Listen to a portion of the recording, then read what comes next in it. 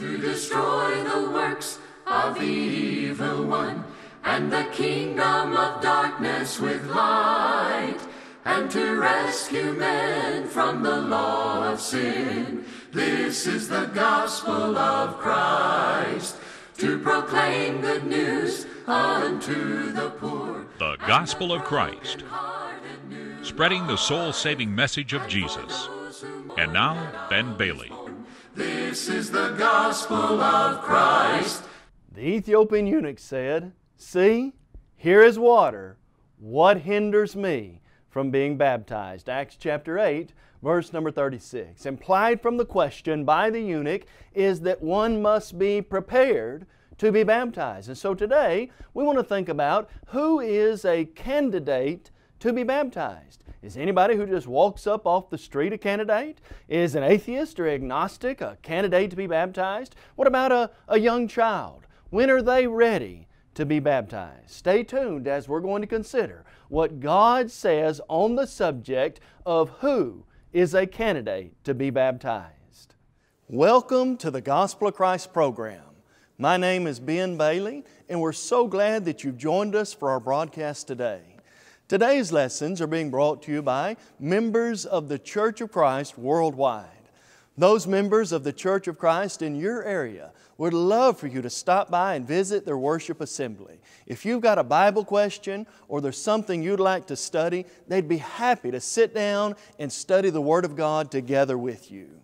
Also, at the Gospel of Christ, we'd love to help you in your study of the Word of God. You can log on to our website, thegospelofchrist.com, and all our Bible study material is free of charge and available to you. If you'd like to have a copy of today's lesson, whether on DVD or CD, we'd love to send that to you. You can fill out a media request form from our website, or you can call us toll free at 1 855 458 3905. On our website, we have a host of Bible study material, including transcripts, study question, question and answers, and a variety of study materials that would help you in your study of the Word of God. Friend, at the Gospel of Christ, we're concerned about the salvation of souls. That's our main emphasis. We're not concerned about your wallet. We're not concerned about hidden agendas. We just simply want to help men and women know the Word of God and to go to heaven. And so, as we transition to our study today, we hope that you'll get your Bible out and have it handy as we're going to look to the Word of God together. Who's ready to be baptized? Is just anybody off the street who comes up and says, I'm ready to be baptized, really ready to be baptized? Can you then take somebody off the street who knows nothing about Christ and, and dunk them in water and that be baptism? What about somebody who's living an, an immoral lifestyle? Maybe somebody who's a murderer and who's never changed his mind on that. Maybe somebody who's robbed a bank and who's living it up off the funds and, and is still living in sin. Is that person a candidate to be baptized? What about a, a young child? At what point does a person become ready to obey the gospel? Is just knowing the facts, uh, the five steps in the plan of salvation, and who Jesus is, does that qualify one to be baptized? These are the questions we're going to consider today from the Word of God and think about who is really ready to be baptized. Friend, it's true that sometimes people who are not good candidates, who weren't ready, have been baptized. Maybe, for example, a young child saw a brother or sister who was ready obey the gospel, and then he thinks, well, I may as well do that as well. Hadn't really thought about it before. Maybe isn't to that maturity point. Maybe even doesn't understand fully, but brother or sister done it and they got a lot of praise, and so he does it as well. Is that person really ready to obey the gospel? Maybe a young person does it to be like other people. Maybe he wants to be like his parents. Maybe he wants to be like some other friend he saw, and so he says, hmm, I think I'll obey the gospel too. Was he really ready to obey? That's a serious commitment. Was he ready to do that? You know, sometimes I've seen this happen in my own life. You've got a large group of kids at camp, and hey, camp's a good thing, learning the Bible is a good thing, teaching them the gospel is a good thing, but you've got a large group of kids at camp, and maybe one or two who are really ready do obey the gospel, and that causes a domino effect. Were the rest of those really ready? Maybe they were. Or maybe it was just they wanted to do, peer pressure, they wanted to do what others uh, were doing as well. And then I've seen situations like this of people who maybe weren't quite ready to obey the gospel, but pressure caused them to. Maybe you've got a husband or a wife who's a Christian. And maybe that husband or that wife, to make their spouse happy, says, I think I'll obey the gospel, that'll make my wife really happy. Well, were they really ready?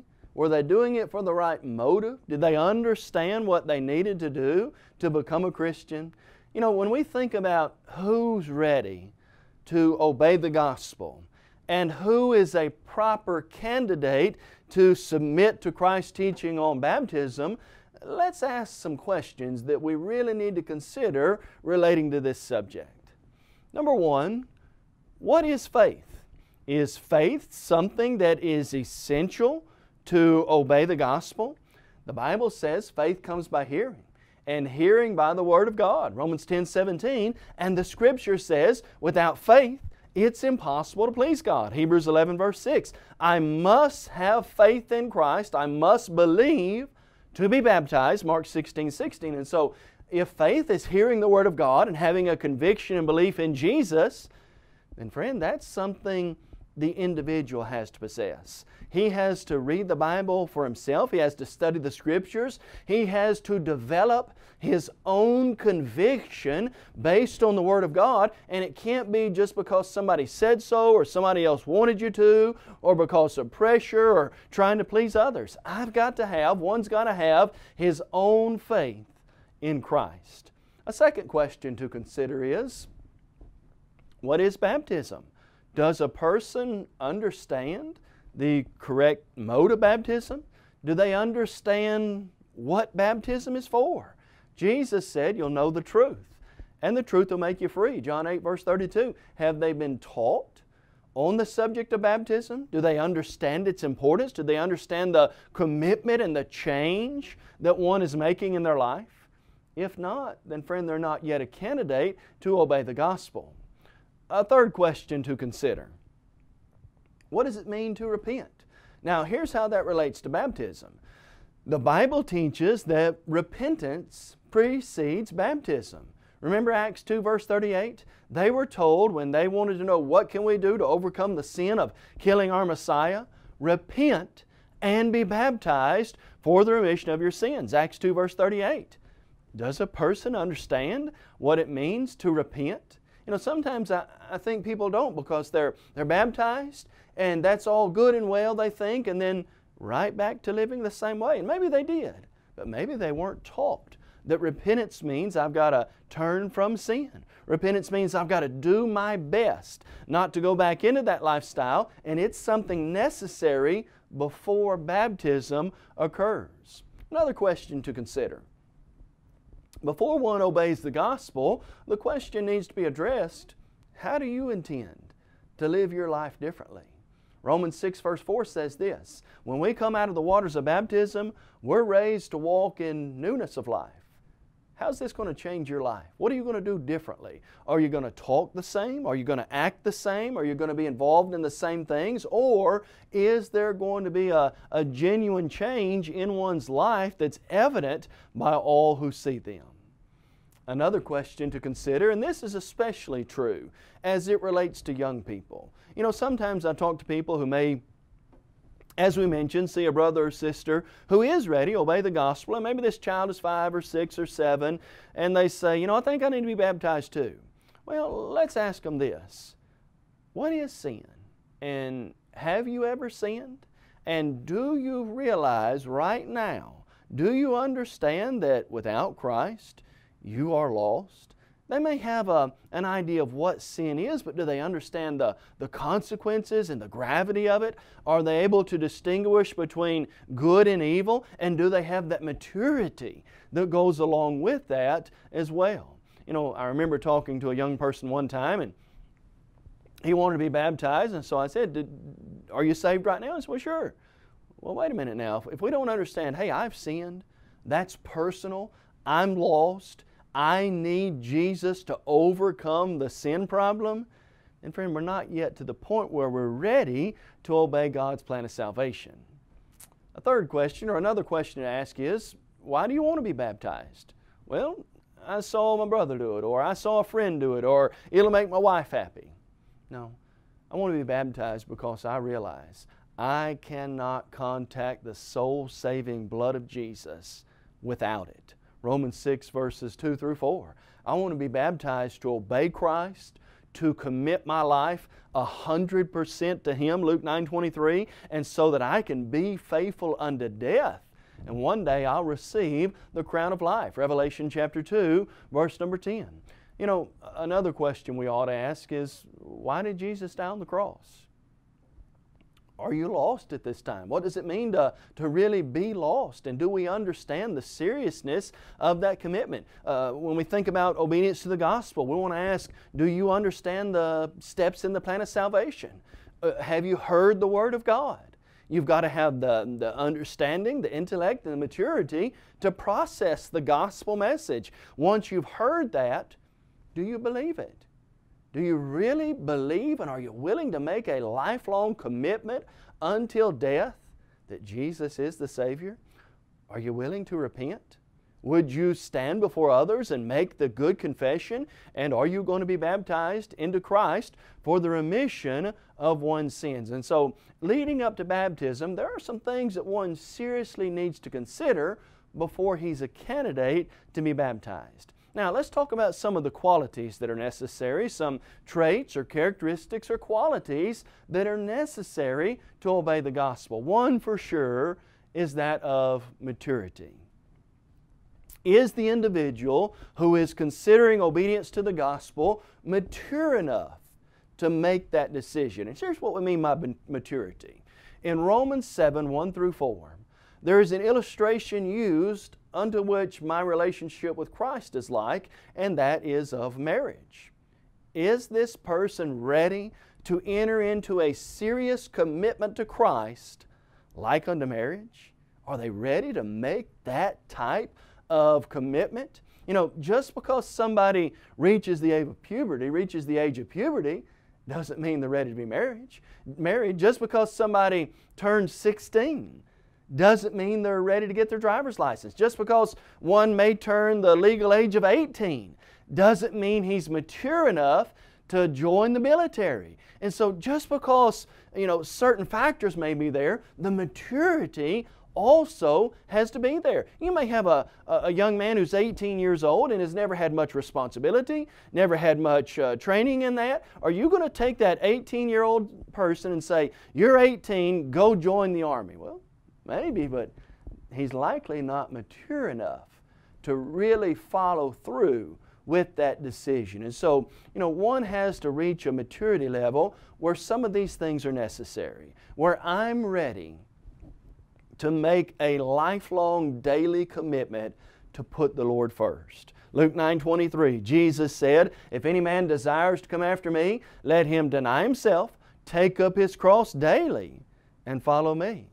You've got to be ready to make a commitment that I'm going to be ready if I'm called upon to die for the Lord. Revelation 2:10. Be faithful until death. I'll give you the crown of life. Friend, during the times of the first century, when someone became a Christian, that was a, a very serious commitment because the knock may have come on the door. Are there any Christians here? And if you raised your hand and you signified you were, you could be put in jail and you could be killed for that. Are you ready to die for your convictions to Christ? Is this person ready to be convicted of sin and the consequences that go along with that when we fail to follow Christ and His teaching? Now, another question to consider, and this directly relates to someone who may be of the right age or maturity level, and that is, is the person, is this person accountable at the age, what we think of as the age of being accountable for their own actions. Now, let's understand there's a time when children are not saved but safe. And here's what we mean by that Jesus said this Bring the little children to me, and do not forbid them, for of such is the kingdom of heaven. There's an age and point in time when little children are pure and innocent, and uh, their characteristics and qualities are clearly identifiable of someone in the kingdom. They're safe in the arms of God. Ezekiel 28, verse 15, God says to the king of Tyre, You were perfect in all your ways from the day you were created until, adverb of time, iniquity was found in you. There was a point in time when the king of Tyre was pure and innocent and right in the sight of God until he became accountable for his own actions. Now, we know that adults, those who've reached the age of accountability, they do have to give an account of their actions. 2 Corinthians 5 verse 10, we must all stand before the judgment seat of Christ and give an account for the things done in the body. And so we ask the question, where does the Scripture teach that there is that age of being safe and there is that age of accountability? The passage is found in Isaiah chapter 7, and I want to direct your attention to Isaiah chapter 7, and I want you to notice what God says in verse number 16. Listen to these words in Isaiah 7, verse number 16. The Scripture says, For before the child shall know to refuse the evil and choose the good, God says the land that you dread will be forsaken by both her kings. Now, God's making a prophecy there about what's going to happen to the land and to the kings who are going to take it over, but I want you to listen to these words again. God says there is a time before which a child knows to refuse evil and choose good. When we say age of accountability, that's what we're talking about. Let me illustrate. Let's say you've got a two, three, four, five month old baby and that baby is throwing a fit about something. He can't get his bottle, he can't find his pacifier, whatever. Now, we want to try to teach him, we want to try to help him, we want to try to do what we can, but that baby at that age, does he know it's wrong to act that way? Does he know that when uh, you take even a toddler and somebody steals his toy, you got a little toddler here and we're trying to teach him, and somebody steals his toy and he just hauls off and waylays somebody over it, kid next to him? Well, that isn't right and that is good in good, and we want to teach him proper traits and characteristics, but are we going to say that kid is at the age of accountability, he's sinned, we better teach him right and wrong and get him in the water. He's accountable for that, and he's going to go to hell because he did that. Well, of course not. He's in an age of learning, he's in an age of training, but he's not to the point where we're going to say he's ready to refuse. He's at that point where he can refuse the evil and choose the good. He's in an age of learning and being trained, but not necessarily uh, accountable for those sins in the eternal aspect of that. And so we've got to realize related to that. Now, let's ask another question as it relates to God's plan of salvation. In visiting with someone who may want to be baptized, we want to ask them, what do you understand? What do you know about the gospel plan of salvation? Now, let me illustrate it this way. And here's why this is so important. Let's say that somebody comes in off the street and they don't know anything about Christ, they don't know anything about the church, they don't know anything about the gospel, but they say, Do you folks baptize people here? We say, Well, sure, we baptize folks. Say, you know, I never really thought about it a whole lot, but I think I probably better go ahead and do that just to be safe. Doesn't know about Christ, really, doesn't know about the plan of salvation, doesn't know a whole lot, but just as a uh, get out of jail free, just as a safety idea, I think I'll go ahead and do it. Well, is that person ready? Is he a candidate to be baptized? Must you know certain things before you're ready to be baptized? And indeed, the Scripture teaches you must. Ephesians 5, verse 17 says, Do not be ignorant but understand the will of the Lord. I've got to have an understanding of God's will as it relates to the plan of salvation. You've got to know the truth before the truth can make you free. When the uh, John 8 verse 32, when the Ethiopian eunuch said, "Here's water, what hinders me?" Was there any condition that Philip laid forth? Absolutely. If, that's a condition. If you believe with all your heart, you may. Was it essential before baptism that he understand, understood and was able to believe the message of salvation in Christ? Absolutely. And so, what does a person need to know? Do they know they're lost in sin? Friend, I, I, truly believe if people, more people realized without Jesus, I am lost in sin, I am headed down the road to hell, and if I don't make my life right with God, I might spend eternity with the devil if I die this way. Do we really understand the personal responsibility and consequences of our sin? The wages of sin is death. Romans chapter 6, verse number 23. Do we really understand about the Lord's church and, and His plan of salvation? Uh, in Acts chapter 8, when they taught them about Christ, they taught them about the things concerning the kingdom. Acts chapter 8, verses 8 through 12. Do people understand? You're going to be added to the Lord's church. You've got to obey the plan of salvation and become a Christian to be right with God. And then we want to emphasize, as Jesus clearly did in the Scripture, are you willing to change? You know, somebody has a, a problem, whatever that problem may be. That problem may be lying or stealing or cheating. Let's say a person has a problem with lying. And that person says, You know, I've, I've got this problem with lying, and I think I need to be baptized. Well, that's good that they're thinking about the plan of salvation, but we then say to them, Are you willing to repent? And he says, Repent, what do you mean? Are you willing to stop lying? You know, I've never really thought about that. Let me think about it. Well, that person, my friend, if he's not willing to change his heart and his mind and let the Scripture convict him, if we're not willing to repent, then friend, we're not a candidate for baptism. How do we know that? Listen to Acts 2.38 again. Repent and be baptized for the remission of your sins. Jesus said in Luke 13.3, unless you repent, you'll all likewise perish. Luke 3, verse 6, John said to certain, now listen to this, here's a classic example. Certain religious elite, looks like because everybody else is doing it, they came out to John to be baptized by him in the Jordan, and uh, John said this to him You brood of vipers. What harsh language, you bunch of snakes in essence. Who warned you to flee from the wrath to come? And then John said this Bring forth fruits worthy of repentance. They were going out and do it because everybody else was, and John said, uh uh-uh. uh You change your life and commit to making this decision before I'll baptize you. John refused to baptize them because they would not or had not repented and were not at the point of doing that before he was going to baptize them. And so, is repentance a part of something you've been considering before baptism? And then we surely want to consider this Friend, have you counted the cost in obeying the gospel? Wouldn't you argue that anything that is really valuable usually has a cost involved in it? Any of us would agree that anything that's really, really important has some type of cost associated with that. Obedience to the gospel will cost you something. It'll cost you time, it'll cost you commitment, it'll cost you sacrifice, and it may cost you friends, family, jobs, and other things that one cannot continue in if he is going to obey the gospel and live true to Jesus. It may cost sacrifice. It may cause persecution. It may mean that some of your friends no longer like you. It may mean that the job that you have where you're popular and that may not be the case anymore. We're not saying necessarily. But have you really considered the cost?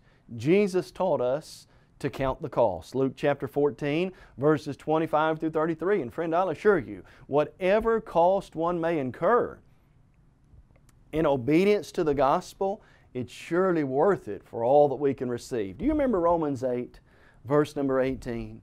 Paul said this I consider the sufferings of this present world, they're not worthy to be compared with the glory which shall be revealed in us. Let's say I, I have to give up on some friends who've got some moral problems that I can't hang around anymore. Let's say that family no longer wants to associate with me because I don't do some of the things I used to do. Or let's say I receive persecution, even serious persecution. And there's a cost to it. Is that cost worth it? Absolutely.